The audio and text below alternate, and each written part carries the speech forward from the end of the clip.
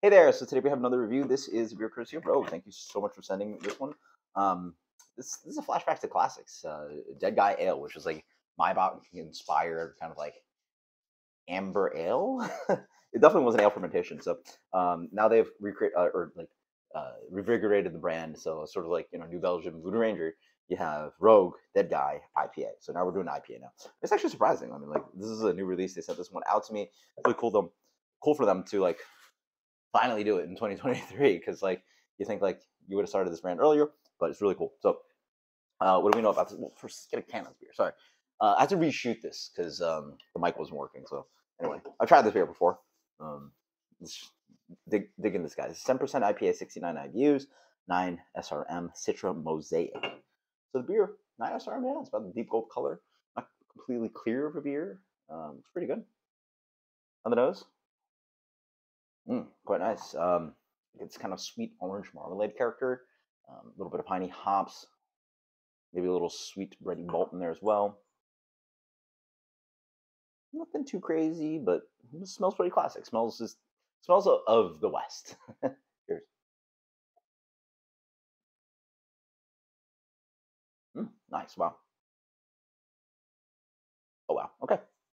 So um, I'm gonna say like literally last week I had a, a, a draft four Sierra Nevada Pale Ale. This immediately reminds me of Sierra Nevada Pale Ale, and that's strange because this beer is solid, seven percent. This is full on IPA, and this doesn't taste like torpedo. This really tastes like a leaner version of Sierra Nevada Pale Ale. I think that beer has just tastes like it has more crystal malt to it, but the hop profile is pretty similar. I would have never guessed this beer was Citra Mosaic. Um, this beer tastes like Cascade Centennial or something like that to me. Um, in general, you get again this kind of oily orange character that comes in, a little bit of grapefruit bitterness, grapefruit pith. Yeah, these are all classic descriptors to me, like bitter, uh, pine, earthy. It definitely tastes of Pacific Northwest. Uh, I remember trying a bunch of those beers from Portland, Oregon slash Oregon area, and they just has this earthy theme to it, a little bit cannabisy. This one's not too cannabisy, but there's a again that tone of just like earth and soil, and that sort of plays into this lingering bitterness that like sort of extracts early on and then just rides through your palate. The bitterness is actually pretty light. It's actually the medium bitterness beer is really not. This is not a bitter IPA. Let me tell you that. Um, malt's pretty pulled back as well.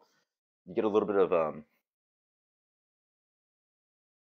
sweet, toasted, crackery, like biscuit kind of bit uh, malt character, but it doesn't taste as rich and saturated as something like Cigar City Jai Alai or Torpedo, the leaner malt bill. Again, drinks like uh, Pacific Northwest, they, they, those are really stripped down beers. This one has a little bit of West Coast influence, you know, or uh, California influence. It seems like has a little bit more malt character, a little bit more. It's not as naked. Like those beers are stripped, bare, pale, and really just like bursted of like you know big aromatics, and then this kind of like dank, earthy thing. This does some of that blended with like a Sierra Nevada kind of like spin on it. Um, it's really fun. It's it's a very drinkable beer for seven percent, which is dangerous.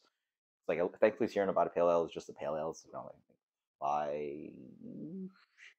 I believe that beer is a five eight beer. Correct me if I'm wrong. Um, but this is full on seven percent IPA and really drinks like a pale ale. So that's crazy.